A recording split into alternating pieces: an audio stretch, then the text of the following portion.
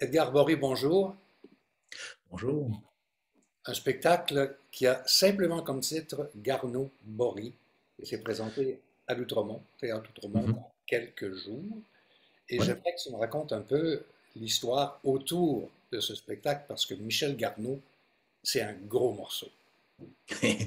un gros morceau. Moi, je savais gros, mais je ne le connaissais pas à l'époque euh, où le metteur en scène en France, avec qui je travaille depuis quelques années, me propose des textes de Garneau pour euh, monter un spectacle, finalement. Donc, euh, j'ai commencé à le lire de bord en bord. On m'a demandé de réécrire des musiques sur ces textes qui avaient déjà été mis en musique et en chanson. Donc, ça prend la permission de l'auteur pour faire ça et du créateur. J'ai pris mon courage à deux mains, j'ai appelé Michel Garneau. Euh, qui euh, m'a reçu à bras ouverts, qui m'a permis de changer des mots parce que c'est ce que je voulais pour les mettre en bouche, qui m'a permis de remettre des mélodies sur certains de ces textes et qui m'a en plus demandé de l'attendre, entre guillemets, trois semaines pour qu'il me euh, réunisse des textes de son cru, même m'en écrire peut-être des nouveaux parce qu'il me connaît. Moi, je ne le connais pas. étrangement, ici, il savait qui je suis, il a écouté mes affaires. Puis là, il savait être des mots qui vont plus te, coller à, la peau puis à la bouche et tout ça. Donc, euh, de là, on a amorcé la préparation d'un spectacle avec un fil conducteur. J'ai imaginé toutes sortes d'affaires en ramassant les textes qui me parlaient le plus. Et puis, euh, finalement, je me suis rendu compte au bout de la ligne, qu'en les mettant par ordre chronologique, ça donnait Michel Garneau, euh, je fais une petite parenthèse, mais il n'a jamais écrit quelque chose qu'il n'a pas vécu. m'a-t-il confié. Donc, euh, Michel a été un bon vivant, un, amoureux de la chair euh, de, toutes les sortes et, de l'amour et amoureux du texte, puis de la parole, puis de la poésie.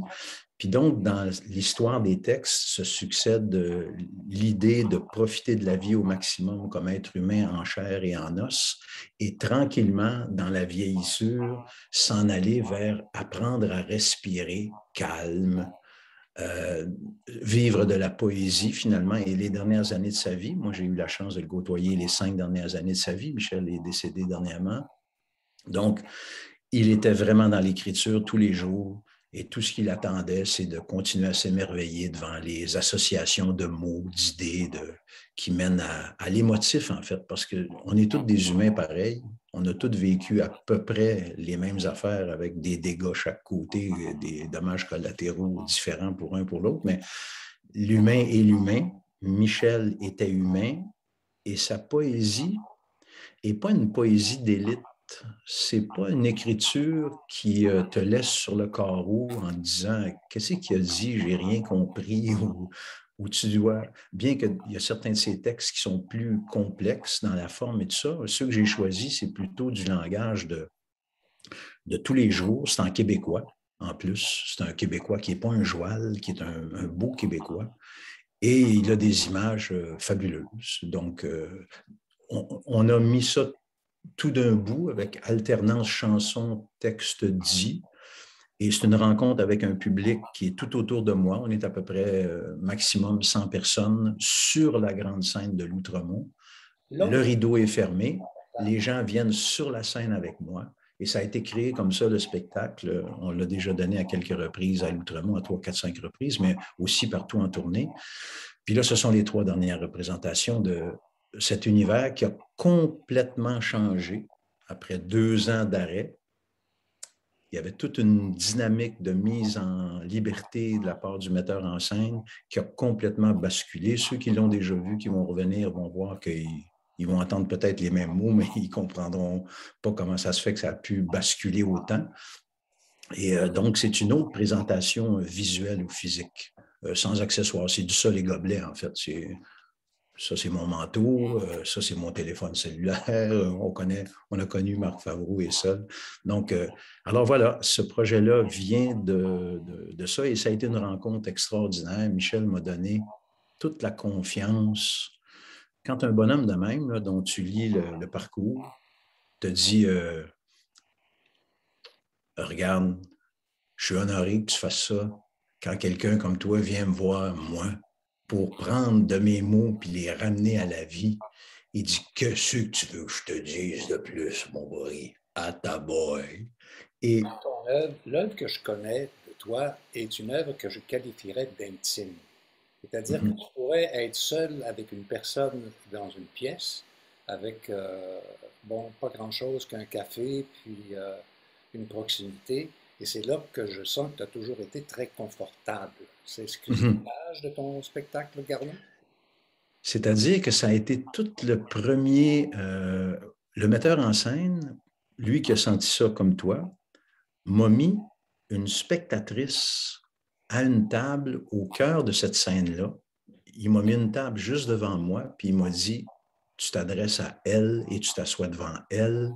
Elle, elle est choisie au hasard dans la salle et on lui dit, vous allez avoir une place exceptionnelle. Donc, tous les gens sont assis un peu comme dans un chapiteau de cirque autour, mais il y a deux tables au centre de la scène et il y a elle qui est assise là.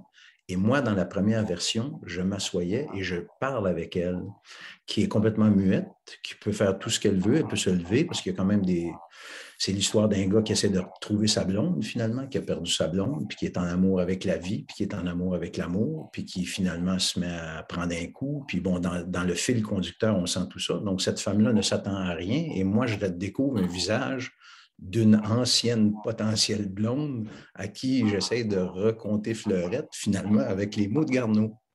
Et dans la nouvelle version, le grand changement, il n'y a plus de table, il n'y a plus de spectatrice chacun des spectateurs présents devient mon interlocuteur ou mon interlocutrice. Ma job, c'est de regarder chaque spectateur au moins une fois dans les yeux pendant le spectacle. Donc, la spectatrice imaginaire reste là, mais c'est dans ma tête parce que finalement, c'est l'élucubration d'un gars qui prend un coup un peu peut-être, qui, qui aime fêter, mais qui parle à sa blonde il y a tellement de place où tu n'es pas là.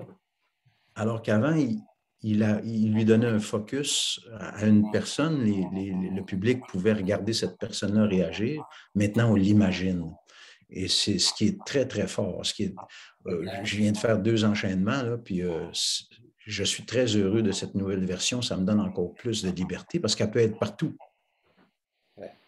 Musicalement, Edgar, c'est acoustique? C'est oui, c'est-à-dire qu'il n'y a pas de moniteur sur scène, pas de micro sur pied, il n'y a rien qui ressemble. Il y a mon musicien un petit peu dans l'ombre en arrière euh, qui, m'accompagne, mais qui est quand même très, très important parce que euh, je m'adresse quand même à lui par moment. Mais rien n'est puissant. Euh, il, y a, des haut-parleurs cachés partout. J'ai un micro caché ici, ça c'est sûr, je peux donner quelques secrets, mais le spectateur ne sait pas que c'est amplifié. C'est juste pour être capable de parler moi, j'ai toujours détesté au théâtre, c'est surtout euh, le théâtre Alcan qu'on a tous connu, où les gens sur scène se font des confidences en disant Hey, dis-moi toi ce secret-là, toi! Puis là, tu vois ça en télévision, puis tu dis Voyons. Alors qu'au cinéma, on est tellement habitué au cinéma aujourd'hui que si je parle à une personne de près, sur scène, avec 100 personnes autour, je vais lui parler comme ça. Je vais dire Écoute, t'étais où, toi? Le chat, il me crie après, il dit Où est ma blonde? Si je parle comme ça, les gens ne m'entendent pas.